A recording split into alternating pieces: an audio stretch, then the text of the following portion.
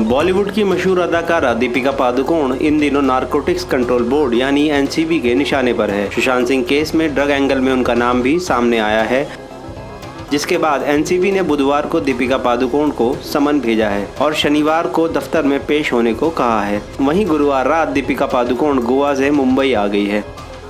इस बीच खुलासा हुआ है कि शनिवार को एनसीबी द्वारा दीपिका पादुकोण से क्या क्या सवाल पूछे जा सकते हैं। मीडिया में चल रही खबरों की माने तो दीपिका पादुकोण का इस मामले में नाम तब सामने आया जब उनकी मैनेजर करिश्मा प्रकाश की व्हाट्सएप चैट का खुलासा हुआ। चैट में साल 2017 में दीपिका ने उनसे ड्रग्स के लेन देन को लेकर बात की थी।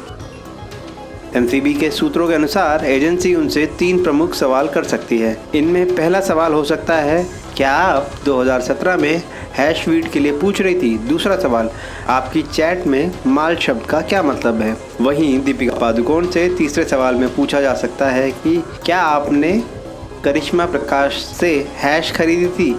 एनसीबी के लिए यह सवाल अहम हो सकते हैं। उधर दीपिका पादुकोण गुरुवार रात को गोवा से मुंबई पहुँच चुकी है।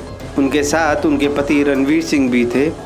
दीपिका पादुकोण के पति रणवीर सिंह ने एनसीबी को अर्जी लगाई है कि वह पूछताछ के दौरान दीपिका के साथ रहना चाहते हैं। इस अर्जी के मुताबिक दीपिका को कभी कभी घबराहट होती है। इसलिए उन्हें उनके साथ रहने की अनुमति देनी चाहिए। रणवीर सिंह ने कहा है कि वह कानूनी नियमों को जानते हैं, वह जाँच के समय मौजूद नहीं रह सकते।